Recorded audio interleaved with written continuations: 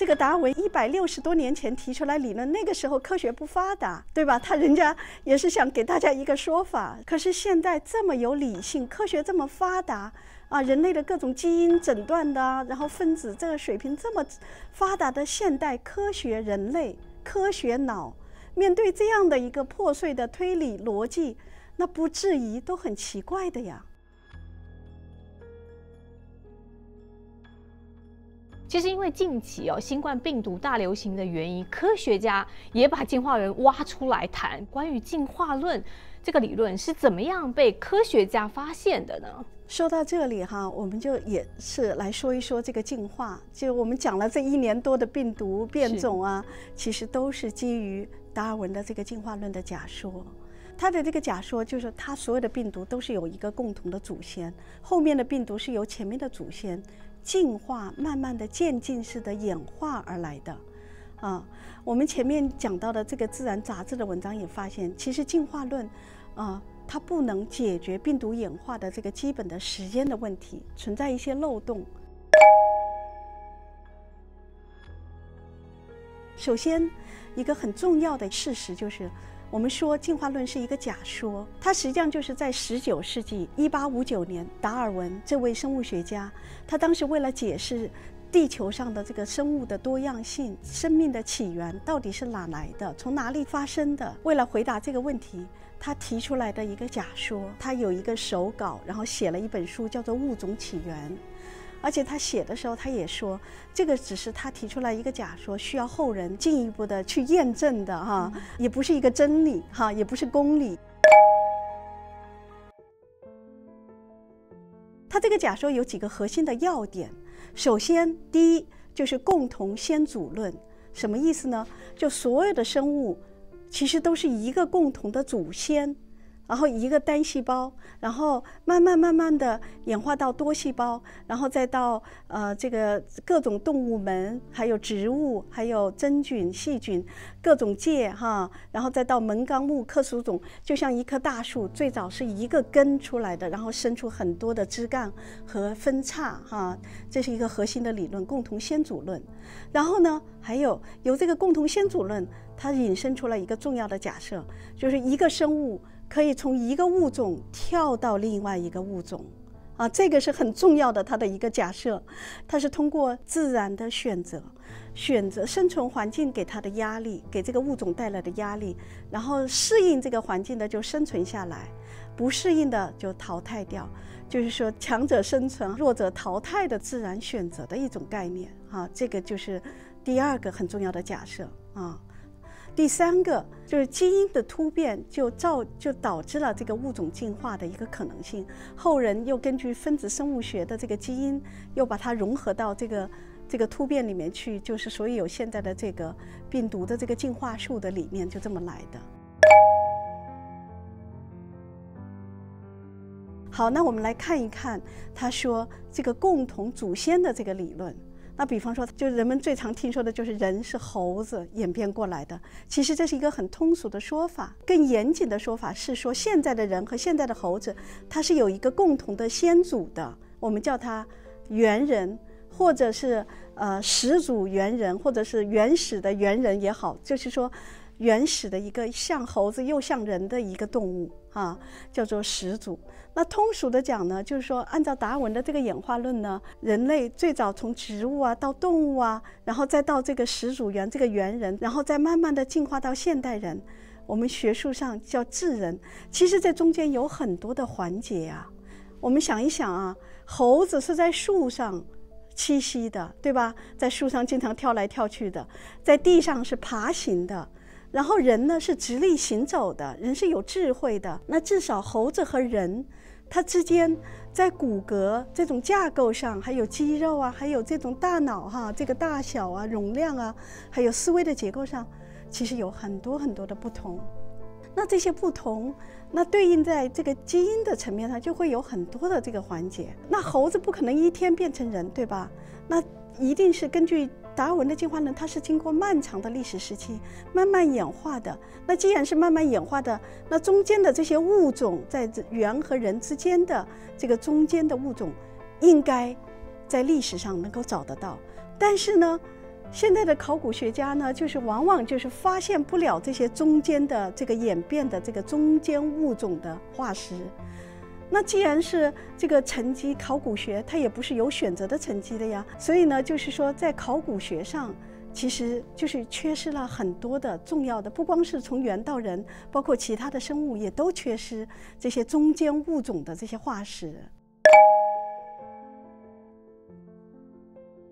Lucy 呢，实际上是一九七四年在东非发现的，被人们认为是猿人祖先的残骸。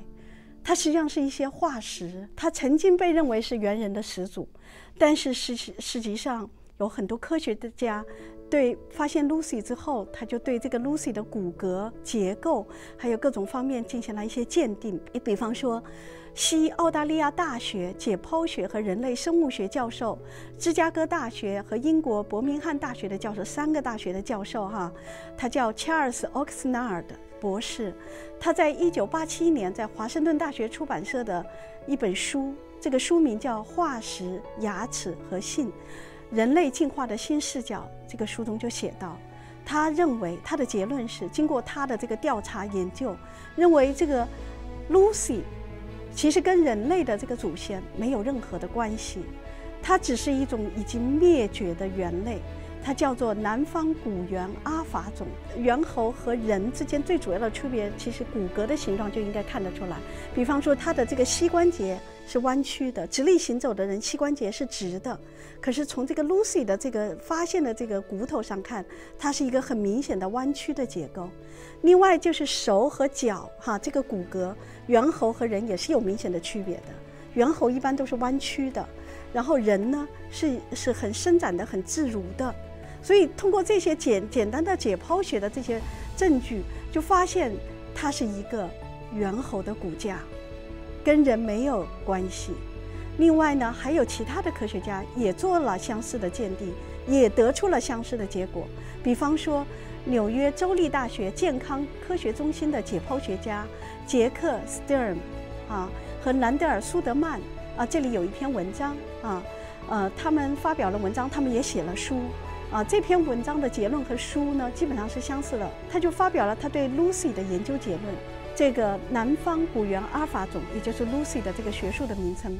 它的手和脚根本不像人类的手和脚，啊，它更像是一种在树上栖息的动物的这个骨架。说白了，也就是猿猴的骨架了。那尽管这个这个 Lucy 是受到争议的，科学家提出了质疑哈，但是其实人们在公共的场合还经常看到 Lucy 的这个展览，还把它拼凑成了一个完整的人形，啊，所以这就是让人混淆的原因所在。其实呢，跟 Lucy 相似的案例还有很多。比方说，这个皮尔敦猿人，它是一九零八年到一九一五年在英格兰被发现的一个，也是被声称这个缺失的这个猿人始祖的一个模化石。四十年之后，科学家就把它鉴定了一下，发现这个它是由猩猩和现代人的骨骼拼凑成的一个赝品。这个被英国啊 BBC。电台称之为是英国历史上最大的骗局，然后再就是爪哇人，啊，Java 们，它是一九一八九一年被发现的，它也是一些残骸，发现一个头盖骨，还有一根股骨，还有三颗牙齿，结果后来发现这个也是被来自不同的人或者猴子的这个骨头拼凑起来的，最后人们把它拼凑成说它是爪哇人，然后还有内布拉斯加男子，啊，他是一九二二年。啊，最后被证明他的这个骨头来自于一种已经灭绝了的猪。另外还有北京人，北京人是一九二零年到一九三零年，中国北京的周口店发现，当时很轰动啊，就说他是直立人，是人猿的始祖的一个很强大的一个证据，还说他改写了这个啊什么什么进化史啊等等。但是呢。它其实也是一些骨头、头骨的碎片，还有牙齿等等，人们把它拼凑起来的。严谨的科学家最后就做了它的头骨的大小的鉴定，发现这个北京人的这个大脑啊，非常的小，不像是人的大脑的这个容量，更有可能只是一只猴子的这个大脑壳而已。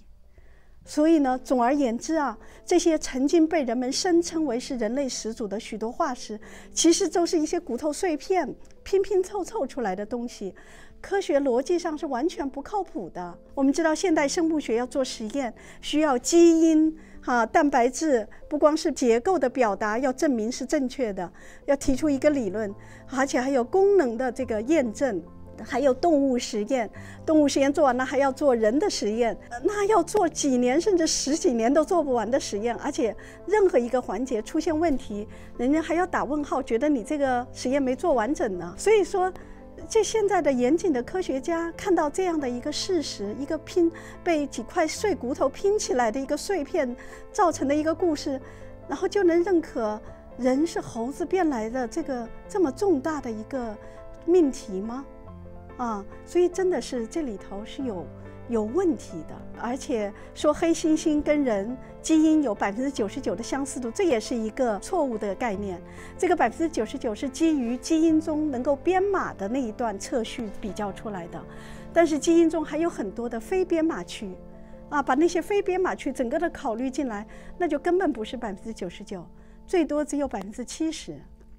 所以这个，而且基因的相似度只是一个层面而已，它并不代表人和猴子、猩猩之间有亲戚关系啊。这个达尔文一百六十多年前提出来理论，那个时候科学不发达，对吧？他人家也是想给大家一个说法，所以提出了这个理论。可是现在这么有理性，科学这么发达啊，人类的各种基因诊断的，然后分子这个水平这么发达的现代科学，人类科学脑。面对这样的一个破碎的推理逻辑，那不质疑都很奇怪的呀。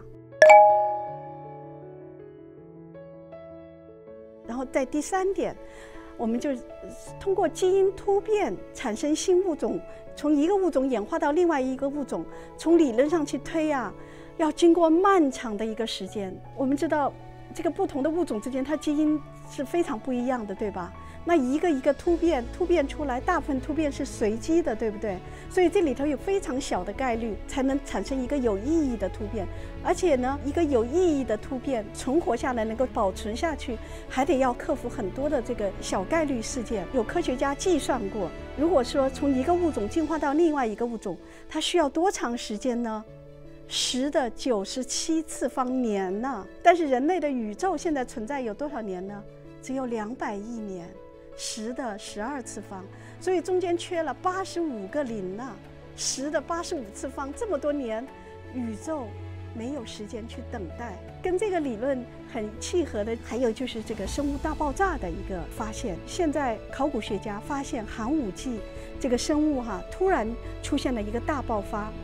呃，根据进化论来推演，那一个一个生物，一个一个物种慢慢演化，一定是渐进式的，就是左边的这条曲线，对不对？那可是寒武纪，就是我们看到右边的这个曲线，真实的情况，根据考古学的发现，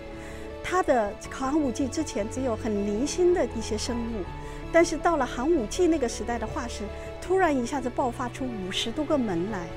啊，这只是门，到种就是成千上万的了啊，所以呢，它是一个巨变式的，一下子就爆发出来了。所以这个就是很不好用进化论来解释的。中国的这个呃澄江的这个化石生物群也证实了寒武纪大爆发。所以不同的地方都是有相似的一个结论，这个生命是一个突然一下子出现的啊。然后另外呢，最近呢就是在《人类进化》杂志上。就发表了一篇文章，这是来自于欧洲和美国的科学家共同发表的一个研究，就是对五百多万个来自于十几万的地球上的物种的这个 DNA 的一个片段。我们知道，我们进超市都要扫码，对不对？每一种商品它都有它特征性的一个二维码。我们人呐，不同的动物啊，它都有它的一个特征的二维码在线粒体基因里面。然后科学家们通过分析地球上不同的物种的它的这个 DNA 的二维码，就发现根据它们之间的这个这个变异度的这个比较，推演出地球上现在所有的这个物种基本上都是十到二十万年之前演变出来的。所以刚才所说到的这些研究的数据，就给人们一个思考。换句话说，以前的理论是大家提出来的理论，然后但是呢，现在科学慢慢的发达，人们发现了越来越多的、更多的一些证据，就是说对这个理论提出一个质疑也是非常合理的。